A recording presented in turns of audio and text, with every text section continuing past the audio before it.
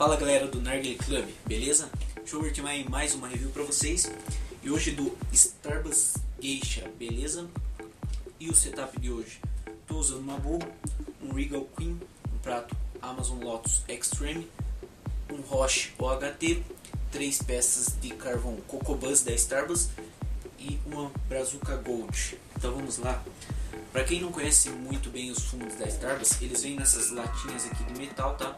E fumo, ele vem em duas embalagenzinhas, que seria a principal ali com o fumo dentro e uma aqui por fora para evitar que vaza o fumo e fica bem conservadinho ali, beleza? Bom, o corte do fumo ele é de médio para grande, tem alguns cortes meio irregulares, algumas folhas um pouco maior, um pouco menor, mas pode-se dizer de médio para grande, beleza? Não tem adição de corantes ali, é umas folhas bem clarinhas, marrom clara. E a proposta desse fumo é para ser pêssego, melão e menta, tá? E vamos ao cheiro, o que, que você consegue sentir? É muito o gosto, o cheiro do pêssego muito intenso, mas um toque bem suave de melão e um pouco de hortelã, não uma refrescância tão grande assim, da menta no caso. Bom, e o gosto?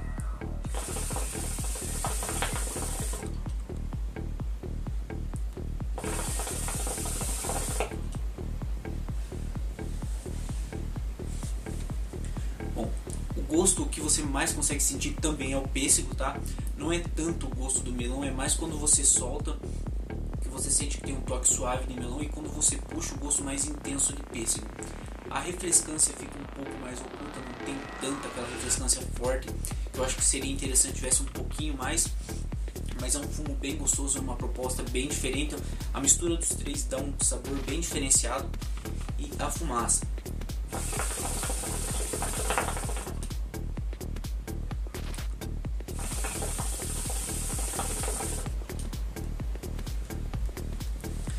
Starbucks produz uma quantidade excelente de fumaça, você fazendo o controle de calor certo ali. Ele tem uma resistência de média para baixo, não é tão resistente assim ao calor, tá? Então você tem que tomar um pouco de cuidado porque ele acaba perdendo gosto muito fácil se você acaba queimando, fornecendo muito calor ao fumo, tá? Mas avaliando o propósito do fumo, que é para ser pêssego, melão e menta.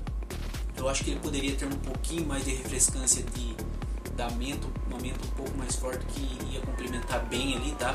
Porque nesse sabor você sente mais o gosto de pêssego e bem suave o melão aí, certo?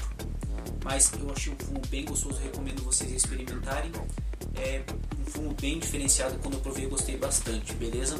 Mas então é isso aí galera, se você gostou do vídeo deixe seu like, se inscreva no canal do Narguilé e se você quiser saber um pouco mais do carvão da Starbucks, tem uma review do Rafa aí já no canal dá uma olhadinha aí.